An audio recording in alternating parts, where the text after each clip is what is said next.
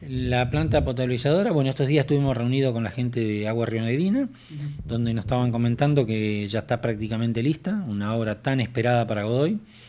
Nosotros dependemos del agua de Villa Regina eh, y es una planta de, filtrado por sistemas viejos, ¿no es cierto? Bueno, hoy vamos a tener nuestra planta de, de agua moderna para Godoy, una obra más que importante porque sabemos que se tardó más tiempo de lo que se había previsto, pero bueno, sabemos que una obra de, de, 8 millones de pesos pasó a 11 millones, así que hoy, hoy ya está prácticamente lista porque ya la empresa cobró todo, faltaban el final de obra nomás ya se están haciendo las últimas pruebas y bueno, eh, en estos días estuvimos reunidos que nos dijeron que a partir de noviembre eh, ya va a estar lista en funcionamiento la obra.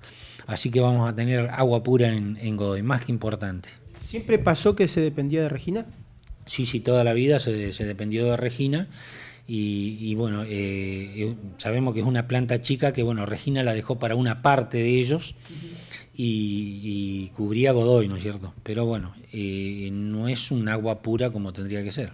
¿Cuántos barrios son los de Godoy que se podrían abastecer entonces ahora? No, no, esto es para todo Godoy. Para todo Godoy es una obra que eh, tenemos para, para 30 años seguro, que va a ser más que importante, porque sabemos que eh, el, sistema de agua que, que las bombas que tienen van a ser suficientes para, para abastecer, así que no va a haber problema.